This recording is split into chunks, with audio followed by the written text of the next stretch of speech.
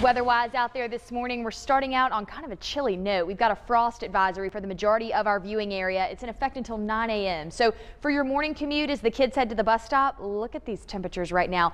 28 degrees in High Point. We're up 10 degrees in Greensboro at 38 in Burlington as well. 36 in Winston-Salem.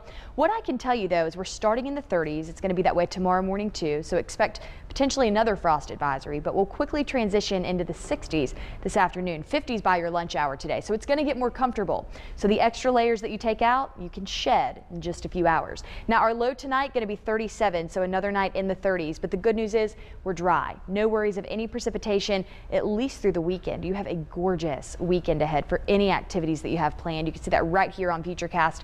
Nothing coming our way until Monday. Now, Monday when the rain comes in, it's going to last through Wednesday night. And you'll see right here that we could see up to two, potentially two and a half inches of rainfall total. So take a look at your hourly planner because today is just picture perfect. We've really had it good thanks to a high pressure system that's in our area right now. That'll be moving out and then that's when that rain moves in into Monday. But we're not even focused on that because we've got such a great three days ahead. 56 by noon, 64 today, and then 37 overnight tonight. So take a look with me now at the next five days and you'll see we stay stay in the 60s consecutively, but we drop into the low 60s for Monday and Tuesday.